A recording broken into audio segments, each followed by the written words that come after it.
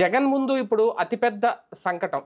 ఎవరిని నమ్మాలో అర్థం కావట్లేదట. ఇప్పుడు తాజాగా మొన్న పులివెందుల్లో కొంతమంది కీలక నేతలతో ఆయన సమావేశమై చర్చించిన అంశాల మీద ఇప్పుడు ఒక చర్చ అయితే నడుస్తోంది రాష్ట్ర వ్యాప్తంగా. కుటుంబ వివాదాలు ఎలాగ ఉన్నాయి? అన్నా చెల్లెల మధ్య ఆస్తి వివాదాలు ఎలాగా నడుస్తున్నాయి? అవి ఎప్పుడో కొలిక్కి తేరుతాయో తెలియదు మరో పక్క పార్టీలో ఆయన ఎవరినైతే నమ్మి పదవులు ఇచ్చారో వాళ్ళందరూ ఒక్కొక్కరు హ్యాండ్ ఇస్తున్నారు. మోపిదేవి వెంకటరామ దగ్గర నుంచి బాలినేని దగ్గర నుంచి అత్యంత సన్నిహితులు వీళ్ళు జగన్ కన్నుకున్న వాళ్ళందరూ కూడా ఇప్పుడు వెళ్ళిపోతున్నారు. చివరికి మొన్న వాసిరెడ్డి పద్మ వెళ్ళిపోయినారు వీళ్ళందరూ.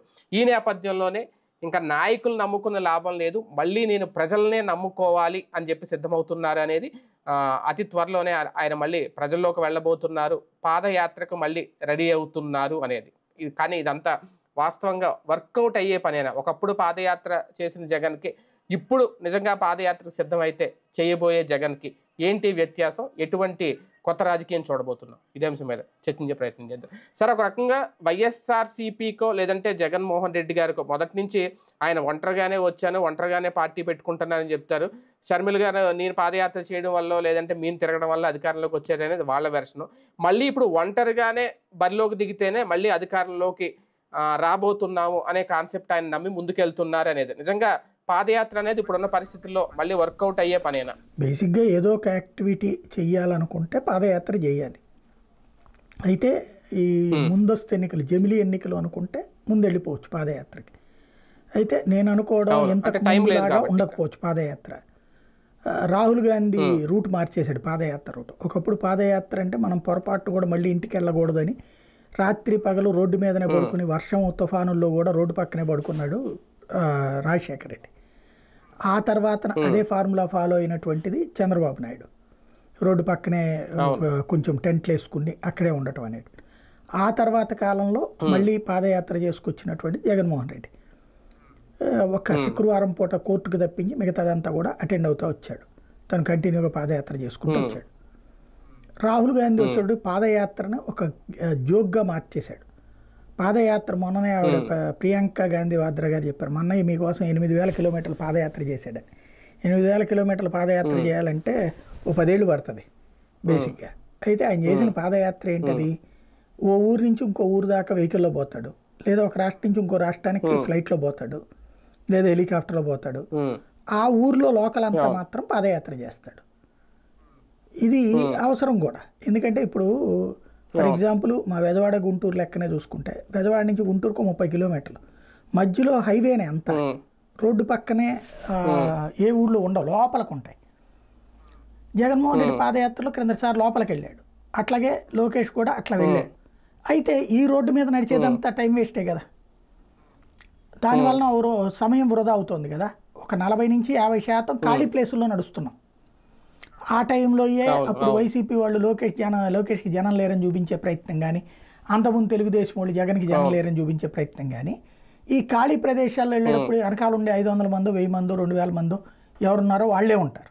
మిగతా ఎవరు ఉంటారు కదా. దాంతో లేరు చూసారా జనం అని చెప్పుకోవడానికి అవుతుంది. అలా కాకుండా ఊరు మొదటి వరకు వెహికల్లో వెళ్ళేసి ఆ ఊరంతా పాదయాత్ర.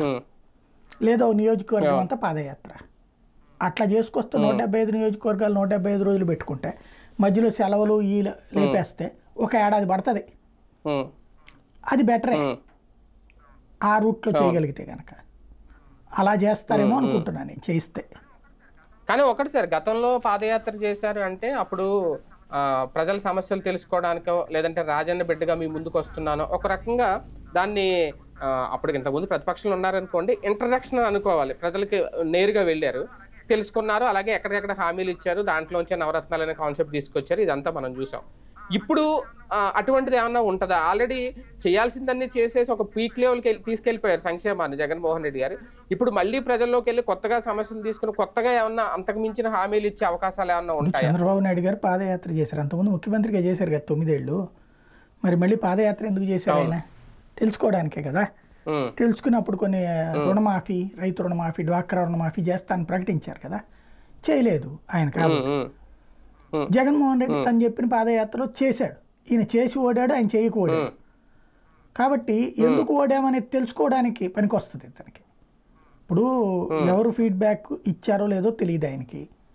ఇచ్చినా ఆయన పట్టించుకోలేదో తెలియదు మద్యం విషయంలో జగన్ ఫార్ములా లేకపోతే కనుక సంక్షేమం విషయంలో జగన్ ఫార్ములా లేదా గ్రామీణ ప్రాంతాల అభివృద్ధి విషయంలో జగన్ ఫార్ములా లేదా నా రోడ్ల విషయంలో జగన్ ఫార్ములా లేదంటే గ్రౌండ్ లెవెల్లో ఉన్నటువంటి ఈ సచివాలయ వ్యవస్థ ఆసుపత్రుల వ్యవస్థ ఆర్బీకేల వ్యవస్థ డిజిటల్ లైబ్రరీ వ్యవస్థ ఇట్లాంటి వీటి సందర్భంగా అక్కడ వ్యవహరించిన తీరు ఏంటి? దానివల్ల ఆ ఊర్లు బాగుపడ్డాయా? లేదా? లేదు. ఎందుకు బాగుపడలేదు? ఒకవేళ బాగుప అయినా కూడా వాళ్ళకి అసంతృప్తి ఉంది. ఎందుకు ఉంది ఈ ఫీడ్బ్యాక్ అయితే వస్తుంది కదా. పబ్లిక్ చెప్తారు కదా అప్పుడు. అన్నా నీకు ఎందుకని ఓటేయలేకపోయాం. ఎందుకు ఓటేసాం? ఇట్లాంటిది. ఉమ్, ఓ రకంగా ఫీడ్బ్యాక్ అది. ఇప్పుడు ఎవరో ఏ ఐప్యాక్ కోడ్లో చెప్పే సమాచారం కంటే తనే స్వయంగా వెళ్ళినప్పుడు చెప్పే సమాచారం డిఫరెంట్గా ఉంటుంది కదా. కాబట్టి బెటర్గానే ఉంటుంది. ఒక రకంగా నమ్మిన వాళ్ళు హ్యాండ్ ఇస్తున్నారు జగన్మోహన్ రెడ్డి గారికి అనేది ఒక వెర్షన్ అంటే బాలినేని కానీ వీళ్ళందరూ వెళ్ళిపోవడం రాజీనామాలు చేయడం ముప్పుదేవి లాంటి వాళ్ళు వీళ్ళందరూ. జగన్ నిర్ణయాలు నచ్చకో లేదంటే గతంలో జగన్ సంక్షేమం ఇచ్చి రాష్ట్రాన్ని పాడు చేశారో అనేది. ఇప్పుడు అవన్నీ మైండ్లో పెట్టుకుని నేను ఆలోచన తీరు ఏమన్నా మారుతుందని జగన్ విషయంలో ఆ రూటు అనుకోవడమే దండగా. ఎందుకంటే అతనిదంటూ ఒక ఫిక్స్డ్ బ్యాచ్ ఇంకా తయారు కాల. ఇప్పుడు రెండు వేల పద్నాలుగు నుంచి పంతొమ్మిది దాకా వచ్చిన వాళ్ళు పంతొమ్మిది నుండి ఇరవై నాలుగు దాకా వచ్చిన వాళ్ళల్లో వందకి తొంభై ఐదు మంది తొంభై ఆరు మంది అట్లాగే ఉన్నారు కదా. పోయిన వాళ్ళు అప్పుడు ఒక ఇరవై మూడు మంది ఎమ్మెల్యేలు అప్పుడు కొంతమంది నాయకులు పోయారు ఇప్పుడు కొంతమంది నాయకులు పోతారు. అంటే ఒక ఫైవ్ టు టెన్ పర్సెంట్ ఎప్పుడు పోతారు. కార్పొరేట్ కంపెనీలలో మీకు ఒక మాట చెప్తారనమాట కొంత వేధించైనా బయటికి పంపించాలి లేదా లే ఆఫ్లు ఇచ్చైనా పంపించాలి. ఎప్పుడు కూడా పది నుంచి ఇరవై శాతం? కార్పొరేట్ కంపెనీల ఫార్ములా మీరు అబ్జర్వ్ చేయండి. ఏ కార్పొరేట్ కంపెనీ అయినా. ఇరవై శాతం ప్రతి ఏడాది కూడా కొత్త రక్తం తెస్తారనమాట ఉన్న వాళ్ళని తీస్తేనే కదా కొత్తవి వచ్చేది. ఇప్పుడు అదే కొత్త వాళ్ళు వస్తే కొత్త ఆలోచనలు అంతే. వస్తాయనేది వాళ్ళ అదే ఫార్ములా పాలిటిక్స్లో కూడా అవసరం. ఇప్పుడు ఖచ్చితంగా అది చేస్తాడు. కానీ రాజకీయాల్లో సీనియారిటీ అనేది సీనియర్ నాయకులు అనేది అవసరం అట్లాగా అనుకునేటట్టయితే జగనే రాకూడదు ఇక ఇప్పుడు జగన్ పవన్ ఎట్ట వస్తారు? సీనియారిటీ లేదని చెప్పేసి ఆగిపోవాలి కదా మరి. రాజకీయాల్లో మాత్రమే కొత్తదనానికి అవకాశం ఉంటుంది.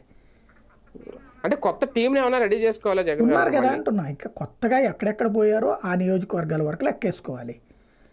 అందరూ వెళ్ళిపోలేదు కదా. ఒక ఐదు శాతం. ఐదు శాతం కూడా పోలా పోయిన వాళ్ళు ఒక పది మందో పదిహేను మంది వేసుకోండి. ఇంకో పాతిక మంది పోతారు అనుకుందాం కానీ ఉన్నాయి నూట డెబ్బై ఐదు నియోజకవర్గాలు కదా. ఇరవై ఐదు పార్లమెంట్ నియోజకవర్గాలు కదా. కాబట్టి అంతమంది బోరు కదా బేసిక్గా. కాబట్టి అంత ఇదేం ఉండదు. అప్పు కానీ ఒకటి సార్ గతంతో పోలిస్తే ప్రత్యర్థుల బలం పెరిగింది. ప్రత్యర్థులు అందరూ కలిసి కూటమి కట్టారు. కూటమి కట్టి కూడా ఒక గట్టి స్ట్రోకే ఇచ్చారు మొన్న రెండు వేల ఇరవై నాలుగు ఎన్నికలకు ముందు. ఇప్పుడు అంత బలమైన ప్రత్యర్థులను ఎదుర్కోవాలంటే మళ్ళీ నేను ఒంటరి పోరాటానికే సిద్ధం అంటే అది ఎంతవరకు ఒక్కొక్కరికి ఒక్కొక్క యాటిట్యూడ్ అతని యాటిట్యూడ్ అది. ఒకవేళ ఈ ట్రిప్ కూడా ఓడిపోయాడు అనుకోండి అప్పుడు ఆ తర్వాత ఏమైనా కలయిక గురించి ఆలోచిస్తాడేమో. తనకి ఇక్కడ బేసిక్గా అయితే జనసేనతో కలవలేడు కదా. తెలుగుదేశంతో కలవలేడు కదా. భారతీయ జనతా పార్టీతో సైద్ధాంతికంగా విభేదం కదా. కమ్యూనిస్టులతో కలవడం కమ్యూనిస్టు వల్ల ఆయన కొరిగేది ఏముంటుంది? ఇప్పుడు ఒక శాతం రెండు శాతం ఓట్లు అయితే కమ్యూనిస్టులు కలుపుకెళ్ళడం వల్ల యాడ్ అయింది అనుకుంటారు బల్క్ ఓటింగ్ రావాలంటే జనసేన కలవాలి తెలుగుదేశం కలవాలి వాళ్ళైతే ఈయనకి శత్రువులే కదా. వీళ్ళ ద్వారా ఇప్పుడు కమ్యూనిస్టుల వల్ల వీళ్ళ వల్ల ఆయన కొత్తగా ఒరిగేది ఏంటి? ప్రాక్టికల్గా చెప్పాలంటే. ఈయన వల్ల వాళ్ళకు ఒరుగుతుంది టు వచ్చినప్పుడు ఆ లెక్కేసుకోవాలి. ఇది నెక్ టు నెక్ సిచ్యుయేషన్ కాదు. కదా కానీ అంటే జగన్ గారి వరకు వైసీపీ వరకు చూసుకుంటే ఇప్- ఇప్పుడు ఇది చాలా క్రూషియల్ టైము ఇప్పుడు ఖచ్చితంగా అధికారంలోకి రావాలి అనేది నిజంగా జమిలీ ఎన్నికలు వస్తే ఇంతకు మించిన అద్భుతమైన సమయం ఇంకోటి మళ్ళీ రాదు. మళ్ళీ ఐదేళ్ళకి ఎన్నికలు వస్తాయి ఇంకా అప్పటి నుంచి. దీన్ని చేజార్చుకోవడం ఇటువంటి రిస్క్ చేయడం ఇప్పుడు అవసరమా? ఏం చేయాలి ఇక అతను? ఇప్పుడు ఎవరితో వెళ్ళి కలవాలి. ఎవరిని అడగాలి అతను? ఎందుకంటే అప్పుడు లాస్ట్ టైం మీకు గుర్తుంటే వైసీపీ నాయకులు చాలా మంది ఓపెన్గా చెప్పారు మీ డిబేట్లో కూడా. మమ్మల్ని బీజేపీ వాళ్ళు కలవమని అడిగారు అడిగారు కానీ మేమే కలవలేదు అని. ఇప్పుడు ఆ బీజేపీ అడిగినా రిజెక్ట్ చేశారు అప్పుడు. ఇవాళ అది కూటమిలో బాగానే ఉన్నప్పుడు అది వీళ్ళని అడిగారు అడిగేశారు అయిపోయింది అది. పద్నాలుగులో అడిగారు పంతొమ్మిదిలో అడిగారు అయిపోయింది. ఇరవై నాలుగులో వాళ్ళు అడగలేదు ఇక అసలు. ముందు. అడిగారన్న ప్రచారం ఉంది కానీ వీళ్ళు ఓకే నాన్ ఓకే అనేసాడు ఇతను. కాబట్టి బీజేపీ కలవదు. అందులో ఇప్పుడు కంఫర్టబుల్గా ఉంది కూటమిలో. ఇంకెందుకు కలుస్తుంది అది? ఇంకెవరు కలవాలి? జగన్ చావో రేవో తేల్చుకోవాల్సింది తనే. అయితే గీత కలుపుకెళ్ళడానికి అవకాశం ఉండేది కమ్యూనిస్టులు కాంగ్రెస్ పార్టీ. కాంగ్రెస్కి మళ్ళీ లైఫ్. ఇచ్చే ఉద్దేశం అతనికి ఉండదు. తను కలుపుకుని? తెచ్చుకోవడానికి. సిపిఐ సిపిఎంలతో ఇదేదంటే నెక్ టు నెక్ సిచ్యుయేషన్ వస్తే అప్పుడు రెండు నుంచి మూడు శాతం ఓట్లు ఉన్నోళ్ళు కూడా మనకు ప్రయోజనమే అన్న ఉద్దేశంతో ఇవ్వాలి. జాతీయ స్థాయిలో కూడా కాంగ్రెస్ పార్టీకి అవసరం లేదా? జాతీయ స్థాయిలో కాంగ్రెస్కి జగన్ అవసరమే కానీ జగన్కి కాంగ్రెస్ అవసరం లేదు. అవును. ఎందుకంటే కాంగ్రెస్ పార్టీకి ఎవడొచ్చినా కావాల్సిందే. కానీ జగన్కి కాంగ్రెస్తో ఏంటి ప్రయోజనం అనేది కదా?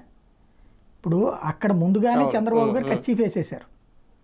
కాంగ్రెస్లో జగన్ని దగ్గరికి రానియకుండా అక్కడ రేవంత్ రెడ్డి అడ్డుకుంటాడు ఇక్కడ షర్మిల అడ్డుకుంటది. రెండు తెలుగు రాష్ట్రాల్లో ఉన్న ఇద్దరు కూడా అడ్డుకుంటుంటే జగన్ వెళ్ళి అడగాలి. జగన్కి వెళ్ళి అడిగే మనస్తత్వం ఉండదు. కాంగ్రెస్ అధినాయకత్వానికి ఎవరు రిపోర్ట్ చేయాలి? వీళ్ళు వస్తే మనకు బెటర్ అని. తెలంగాణకు సంబంధించిన రేవంత్ రెడ్డి చెప్పాలి ఏమంటే రాజశేఖర రెడ్డి కొడుకు కదా మనకు ప్రయోజనం ఉంటుంది తీసుకురండి అని. లేదా షర్మిల చెప్పాలి మా అన్నయ్య కదా ఇంతకుముందు సీఎంగా చేశాడు కదా మనం కలిసి పోటీ చేస్తే బాగుంటుందని షర్మిల చెప్పాలి. ఈ ఇద్దరికి జగన్ అంటే శత్రుత్వమే కదా. వాళ్ళిద్దరి శత్రుత్వం ఉన్నప్పుడు వాళ్ళు ఇంకెందుకు వస్తారు? కానీ మళ్ళీ జగన్ గారికి పాదయాత్ర చేస్తే మొదలు పెడితే ఎందుకంటే లాస్ట్ టైం పాదయాత్ర చేసి సక్సెస్ అయ్యారని చెప్పాలి అధికారంలోకి వచ్చారు కాబట్టి. కానీ మొన్న లోకేష్ పాదయాత్ర మొదలు పెట్టినప్పుడు వీళ్ళు జియో నెంబర్ వన్ అని తీసుకొచ్చి ఆయన ఇబ్బంది పెట్టడం కానీ ఇవన్నీ చూసాం. ఇప్పుడు వాళ్ళు ఇప్పుడు అధికారంలో ఉన్నారు. సజావుగా సాగుద్దా? ఇప్పుడు ఏమైంది? లోకేష్ చక్క పాదయాత్ర చేశాడు కదా. వీళ్ళు అడ్డుకున్నటువంటి దాని వలన? అంటే కొన్ని రిస్ట్రిక్షన్స్ పెట్టారు కదా సార్. అప్పుడు మైక్ అనుమతి లేకుండా ఎక్కడ మాట్లాడకూడదని అదే అనేది దాని వలన పాదయాత్ర అయితే ఆగిపోలేదు కదా. బేసిక్గా రాజమండ్రి దగ్గర ఆగిన చోటనే గొడవ మూలంగా. ఇప్పుడు ఇతన్ని ఆపే ప్రయత్నం ఇప్పుడు అట్లాగా ఆపాడు నిరంకుశంగా ప్రవర్తించాడనే కదా జగన్కి వ్యతిరేకమైంది. అమరావతి జేఏసీ పేరుతో ఎదురు నుంచి యాత్రలని లేకపోతే అక్కడ గోదావరి జిల్లాలో మూడు రాజధానులను గొడవ చేయించడం ఇట్లాంటివి చేయడం వల్ల. ఇప్పుడు వీళ్ళు అదే చేశారనుకోండి ఏమవుతుంది? జనం ప్రజాస్వామ్యాలు హర్షిస్తారా? హర్షించకపోబట్టినే కదా జగన్ వెనక పంపించింది. అదే పని వీళ్ళు కూడా చేశారనుకోండి మంచిదే. ఆ విధంగా అన్న అసలు విషయం తెలుస్తుంది కదా జనానికి. ఇవన్నీ ప్రతిపక్షంలో ఉన్నప్పుడు ఉపన్యాసాలు ఇస్తారు అధికార పక్షంలో ఉన్నప్పుడు ఉండదు అనేది. బయట ప్రపంచానికి అర్థమవుతుంది అప్పుడు. ఉంటదంట సార్ నిజంగా పాదయాత్ర? చూడాలి. నేనైతే విన్నా నేను కూడా. అది ఏదో సోషల్ మీడియాలోనే వస్తుంది కానీ అతను మరి జమిలీ ఎలక్షన్లో అయితే వెళ్ళాలి. మరి వెళ్తారా లేదా చూడాలి. అంటే ఒక రెండేళ్ళు ఉంటదేమో మహా అయితే. చూడాలి అది. నేను అనుకోవడం అట్లా అనుకోవట్లేదు. నేను చెప్పిన రూట్లోనే అవుతుందేమో అనుకుంటున్నా. నియోజకవర్గం దగ్గరికి వెళ్ళిపోయి ఆ నియోజకవర్గం మొత్తం రెండు రోజులు మూడు రోజులు పాదయాత్ర చేస్తారేమో అనుకుంటున్నా. అలా మొత్తం రెండేళ్ళు సరిపోతుందిగా. నూట డెబ్బై ఐదులో మధ్యలో రెండేసి రోజులు మూడేసి రోజులు గ్యాప్ తీసుకోవచ్చు. నియోజకవర్గానికి ఇంకో నియోజకవర్గానికి. లేదా ఒకసారి ఉత్తరాంధ్రలో నియోజకవర్గం తిరిగితే ఇంకోసారి కోస్తాలో ఒక నియోజకవర్గం. ఇట్లా కూడా ప్లాన్ చేసుకోవచ్చు కదా. అవును. అన్ని ప్రాంతాలను కవర్ చేసినట్టు ఉంటుంది కదా. అదే కదా.